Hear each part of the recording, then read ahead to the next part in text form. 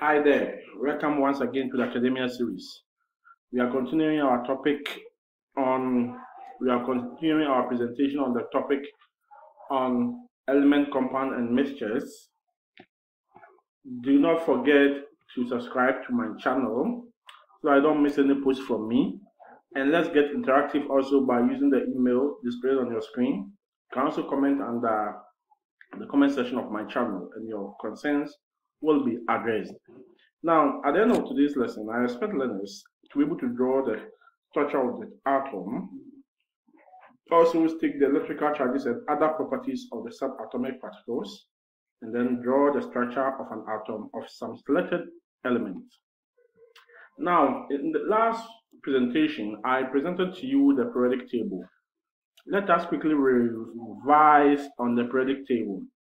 And as I said, for the upper grades and then the JHS candidates, you are to be able to memorize the first 20. They should be at your fingertips, starting from hydrogen getting to calcium, so that each of them does their chemical symbols displayed here, and then the atomic numbers shown at the top corners here, and then their mass numbers are down. You are not supposed to focus on the mass number, but just know that the atomic number and then the first 20 will be enough. Now let's start today's business by talking about the structure of the atom. Now the atom is made up of two main parts. We have the nucleus and then we have the outside electrons. So nucleus and electrons. But when we go into the nucleus, we shall then have protons and neutrons also in the nucleus. So in a nutshell, the three particles that make up the atom are protons, neutrons, which are in the nucleus, and then electrons, which are moving around it. Now, if we have this to be our nucleus, we have paths, orbit, or shell, which are drawn around the nucleus. Let's look at that. This one is called, the first one is called the K shell. And then we have the second one, which is called the L shell. then if there should be a third, M, fourth, N, in that order. So, and then on these shells, they are the paths along which electrons move around the nucleus. So these are the electrons being displayed here. So this is the general structure of an atom.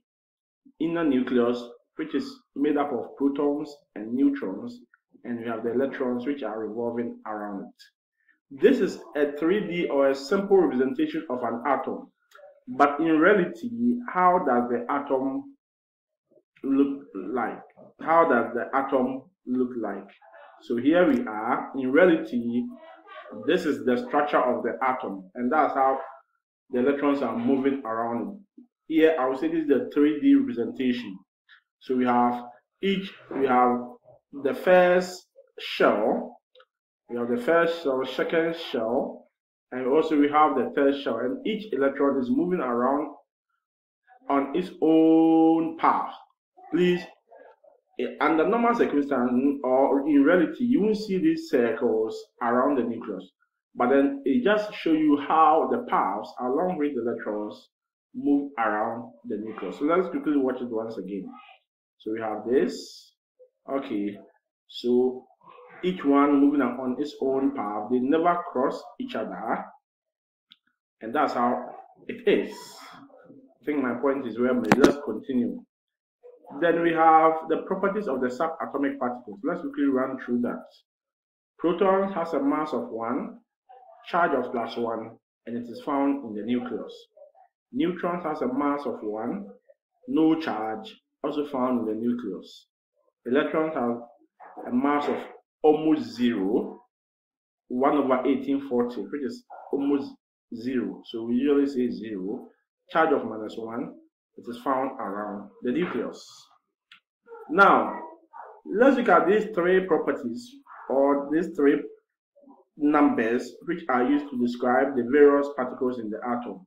The first one is the atomic number, which can be represented by the letter Z, and it is the number of protons in the nucleus of an atom. So the total protons in the nucleus of an atom, call it the atomic number. Symbol is Z, capital Z, and it is equal to the number of electrons of that particular atom. So as soon as you're able to identify the atomic number, which is the number of protons, it is that number is equal to the number of electrons. So if you are to have an element, let's say X, why is the atomic number displayed? It is displayed at the subscript of the element, the subscript, as you can see here. Then let's talk about the next one, which is the neutron number. It is just the number of neutrons in the nucleus of an atom and has the symbol N. Then quickly, the mass number is the sum of the number of protons and neutrons in the nucleus of an atom. I've told you earlier that in the nucleus we have protons and we have neutrons. So the sum of these particles, the numbers put together, we shall call it mass number. It can also be called nucleons. The nucleon number or nucleon, the two together can also be called nucleon. On the chemical symbol, where is it displayed? It is displayed at the superscript of the chemical symbol. Now, the relationship between these three is that mass number equals, by definition, number of protons plus number of neutrons. So mass number A, number of protons I've told you is the same as atomic number. So we can say Z here and the number of neutrons. So this, this is the relationship that exists between the three. Now let us quickly look at this. As I've said, mass number here, atomic number here. Let's look at sodium. Sodium has a mass number of 23, has an atomic number of 11. This, uh, these numbers have been determined already. So 23, its mass number is 23. You can check from the periodic table. Its atomic number is 11. If that's the case, then what, how, what is the atomic number of sodium? We have 11 it means it has 11 electrons because I've told you that atomic number is the same as number of electrons. Then it shall have a mass number of 23 by visual inspection here. Mass number, atomic number 11, atomic number is the same as number of electrons, and that. But then what is the number of neutron? Neutron number can be directly determined from the top here as we know of mass number and atomic number that one needs to be calculated. And that's where the relation A equals Z plus N comes in. So let's fill in our figures. So we have that, making N the subject, I get N to be 12. Let us continue. Special case for chlorine. Chlorine also has atomic number of 35, uh, mass number of 35, pardon me, an atomic number of 17. So protons 17, electron 17 neutron number by using the relation 35 equals that making n the subject we get neutron to be 18 sometimes you can be given the atomic number and given a number of neutrons as well and you're asked to find the mass number a. Again once again use the relation put in your various figures and calculate for your mass number. Right here we have 24 now let's take a look at sodium. We are going to draw the atomic structure for sodium. As we have determined earlier, sodium has 11 protons, 11 protons, 11 electrons, 12 neutrons. So now if I'm to come here, let's quickly look at this. If I'm to come here, now I can say uh, I'm going to have for I'm going to have for this let me make it this way so that we all understand it better. So I can see, I can see that in the middle here we have 11 protons. So we put it here. Then we're going to have 12 neutrons, which is also put over here. Now we have to arrange 11 electrons on the shells. Be, bear in mind, the first shell takes two electrons. I hope you know this already. The first shell takes two electrons. We'll talk more about this later on. You can represent the electrons by cross or dot. It's accepted. Then the second shell, so 11, you have already arranged two. The second shell takes 8 electrons as well. So we have 8, 1, 2, you can pair them 8. 1, 2 again. And then here you are. My fifth, 6, and then 7, and then 8. So second takes 8, so 8 plus 2 making 10. It means if I take 10 from the electrons, I'm left with 1. So the 1 will come on the last shell. Please let me make this point clear. This first shell takes 2 electrons. The second takes 8 electrons. The third and the number sequences take 18 electrons. But it has been realized that if it is able to take 8, it will behave as stable compound. So instead of arranging 18 here, we usually will arrange 8 as well. So now, if you take the sodium atom, you realize that there's a term we call EC. EC is the arrangement of electrons on each cell of an atom. So if you look at it, the EC for this particular sodium is that the first shell has taken how many? Two electrons. You bring your comma. The second shell has taken how many? Eight electrons. And then the last shell has taken how many? One. So the EC for sodium is 281. First shell, second shell, third shell. Alright. Let us take a look at chlorine as well. Chlorine has 3517.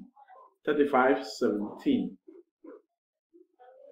as mass number and then atomic number. So by calculation, it will have 17 protons, 11, uh, 17 electrons as well, and then by calculation, 18 neutrons. So now let's go in and fill in our numbers so that I can say 17 protons here. Then I have 18 please if you are to draw the atomic structure you are to calculate this and put them here. Don't just fill in the electrons and leave here. For you to get the total mass show the number of protons. So go through know your parameters here calculate your protons electrons neutrons and then fill in those which are supposed to be in the nucleus then now we are to arrange 17 so for the 17, the first shell, as I said, takes two. So one, two, and then one here and two. So I'm, I'm done with the first shell. Second shell is supposed to take eight. So one, two, you can do it singly. And after that, you pair. Three here. I have four here. I have five, six, seven, and then eight. As I said, the second shell takes eight electrons, so I can't put in any more again. So 2 plus 10 plus 8 gives me 10. If I subtract 10 from 17, I'm left with 7. So let's go. That will come on the third shell. So 1, 2, 3, 4, 5, six, and then seven. I'm left just seven, so we have so. Now let's quickly look at the EC, how electrons are arranged, particularly for chlorine. So EC this us the first shell took two electrons, second took how many? Eight electrons. Pardon me with my drawing, and then the last one took how many? Seven. So the EC for chlorine is 287. You realize that EC for sodium is 281. Alright, this brings us to the end of the lesson. But please remember, I am going to put a link under the comment section.